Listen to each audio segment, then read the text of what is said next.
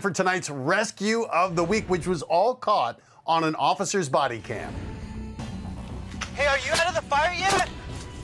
A pair of deputies are first to arrive on the scene of a house that is up in flames.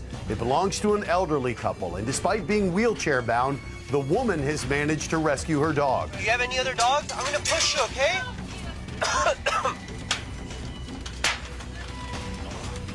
Just hold on, okay?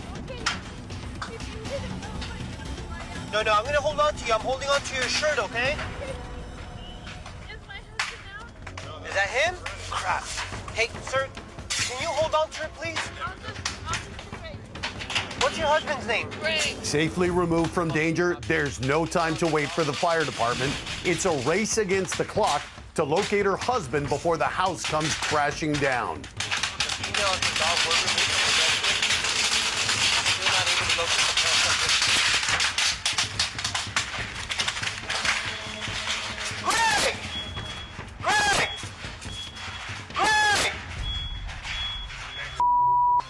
Go to the backyard, dude. Greg!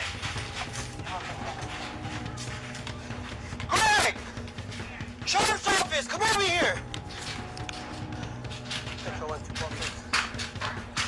All right, how can we get out of here? I located the male half. He's spotted in the backyard, possibly disoriented. Come this way, you. Your wife. She's in the front. You guys only had one dog? All right, we're good then. The house on fire has been completely evacuated. Joining me now is Deputy Diego Gonzalez of the Kern County Sheriff's Department. Deputy Gonzalez, first of all, thank you for joining us. Now, I understand you and your partner responded to this call, but you thought you were going to be assisting when you got there. That is correct. Uh, we're getting a call of a fire, a house fire, and I'm thinking, let me respond so I can assist the firefighters with the traffic coming in and going out. Well, w- one of the things we always talk about is as a police officer, when you fight a fire, you don't have the equipment, you don't have the protective gear. So, what were the conditions like in and around the house?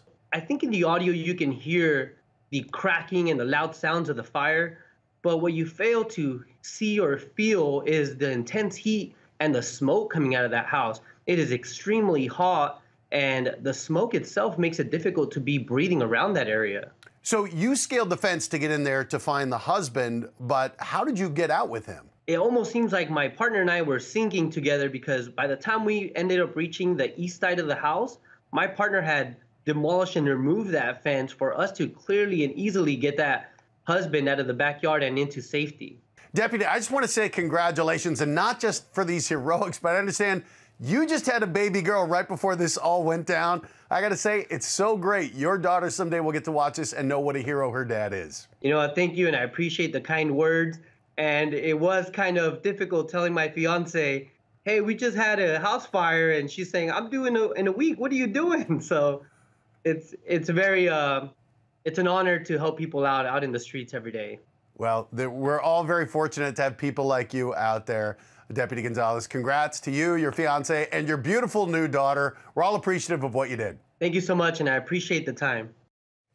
I think it's one of the special things on the show is when we get to talk to these heroes. I love it. But you said in there, there's another PSA you might have for people at home. Right. We just talked about smoke alarms. You have to have a, an escape plan, right? Not just having an escape plan, but practicing it, knowing that you- we're going to meet right here across the street at the neighbor's home, so everyone goes to that singular spot.